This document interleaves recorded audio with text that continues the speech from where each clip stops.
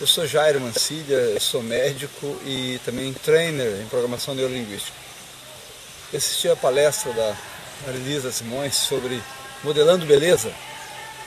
Eu gostei muito do, do como ela fez a palestra. Ela preparou muito bem todo o contexto, tanto de roupa como de cenário, e etc.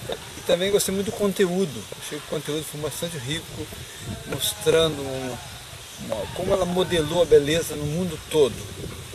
E modelou de uma maneira agradável, alegre, para cima, mostrando que a beleza é um, algo cultural, depende da cultura onde a pessoa está. E todos nós somos bonitos por natureza. E podemos é, curtir a nossa beleza, podemos é realmente perceber a beleza. E a mensagem foi muito positiva no sentido de que o ser humano, tanto o homem como a mulher, são bonitos. E não precisa ficar sofrendo pelas é, crenças e pelos moldes culturais.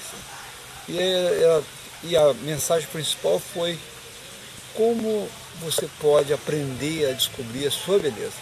Cada um é, é bonito. Então, Achei muito válida a palestra dela, achei muito bonita, muito inspiradora e recomendo com empenho. Uma palestra que pode ser feita em empresa, pode ser feita em multidões e também para pouca gente. achei uma palestra que gostei muito e recomendo com empenho.